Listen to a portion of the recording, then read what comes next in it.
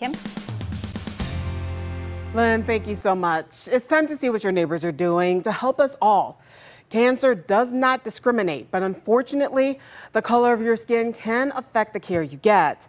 So here is what you are doing about it. In a 2021 report, Harvard School of Public Health said structural racism in healthcare settings hurts patients. The publishers of Color of Wellness magazine offers empowerment. They will have a virtual workshop called Cancer in Black America, a health equity forum. African American pa patients will share their cancer journeys. You can hear from the American Cancer Society, and you can get resources for free. The virtual forum goes live Saturday morning, October 1st at 9.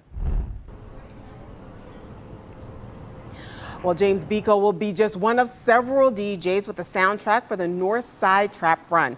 The Young Friends of the Ville want to uplift North St. Louis by increasing the amount of affordable housing there.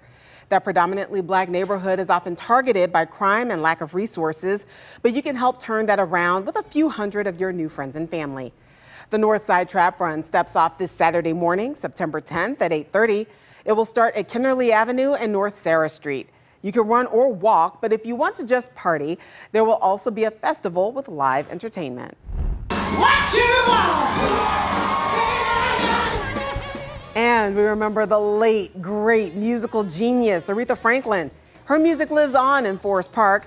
See our own local artists lead a happy hour in the yard of the Missouri History Museum.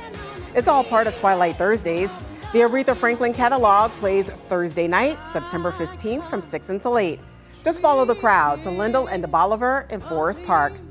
We'll have a link to more information for all of these events.